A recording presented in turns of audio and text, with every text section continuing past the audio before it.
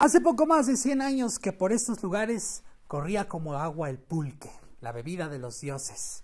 Hoy, después de tanto tiempo, pareciera que esta bebida está olvidada. Pero en estos rincones del Estado de México pareciera que aún prevalece la bebida de los dioses. ¿No me creen? Acompáñenme.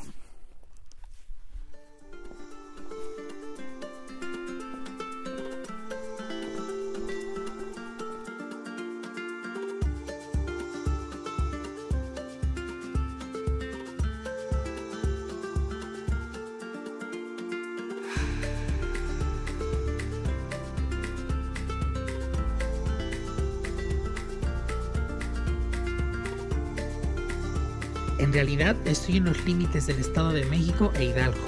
En esta región hay una decena de localidades y casi todas tienen algo en común. Producen pulque. Justo aquí, el Valle de México se quiebra en varias barrancas que dan paso al Valle del Mezquital. Y es aquí donde encontramos al primer plachiquero, Clemente.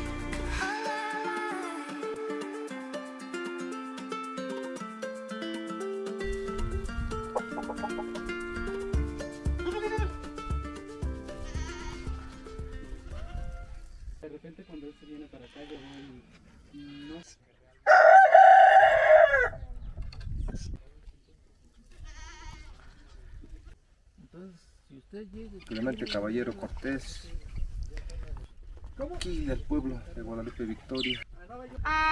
Yo empecé desde los, desde los 21 años a hacer pulque. Llevo ahorita 15, 14 años haciendo pulque. A eso me dedico, ya tiene rato. Me dedico al ganado, cuidar ganado.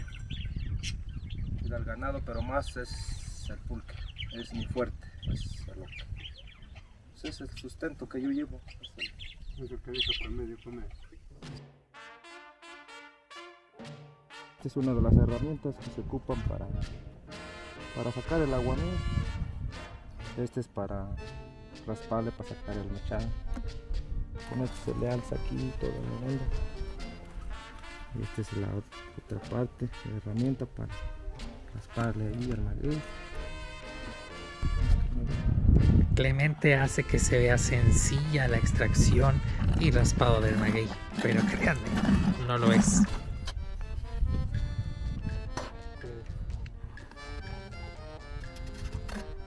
Esta es la herramienta que se utiliza para raspar.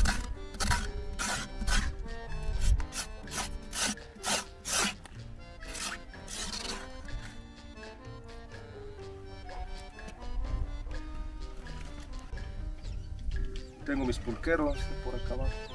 Un pulquero de Santa María. Cada ocho días yo entrego mis viajes. 200, 400 litros cada ocho días. Les mando un saludo desde aquí de Guadalupe Victoria a toda la gente que nos está viendo, que nos está escuchando.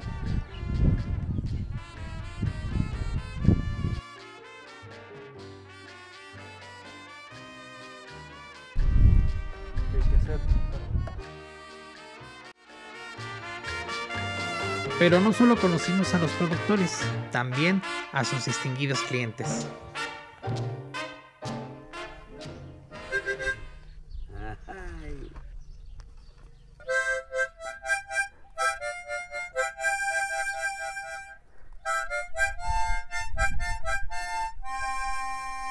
Esta bebida de muchas cualidades ha recobrado algo de aquella popularidad en años recientes. Por allá de 1960 fue que perdió prestigio debido al impacto industrial cervecero y a intereses particulares.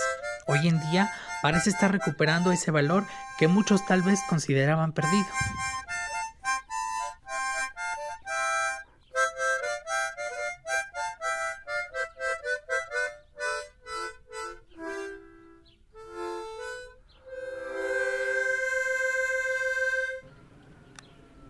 me tocado hacer. Juan Gutiérrez Vargas, a sus órdenes. Pues nada más lo que puedo platicar, que Dios no- nos ayude a todos. Y este, si no creen en la Virgencita, Dios los acompañe. Todos Dios y la Virgen ayuda a todos. ¿eh?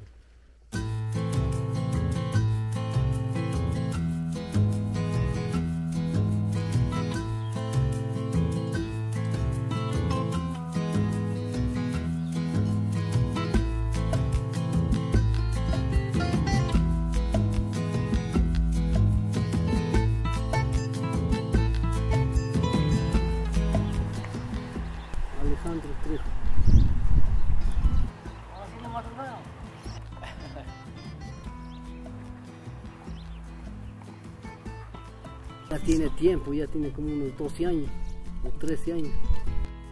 4 años del maguey para que ya para rasparlo.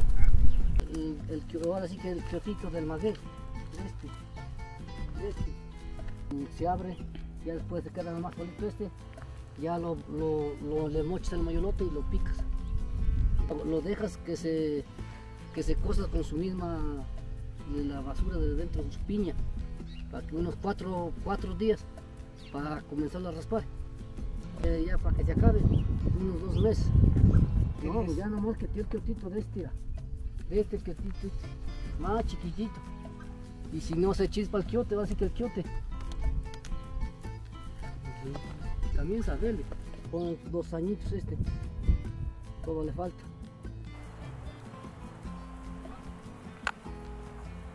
El pulque en el contexto de la historia había sido representado en relieves tallados en piedra en el año 200 después de Cristo, pero el dato más antiguo del que se tiene registro data del año 1200 antes de Cristo. Así que sí, tal vez estas comunidades sin saberlo han preservado hasta el día de hoy un vestigio único de las raíces de nuestro país. Obviamente tan antiguas como las paredes que erigieron estas haciendas, el pulque es algo de un valor inconmensurable, así como muchas cosas más por el resto del país. Algo que nos hace sentir la grandeza y riqueza de México. Soy Peluche. Nos vemos. Hasta la próxima.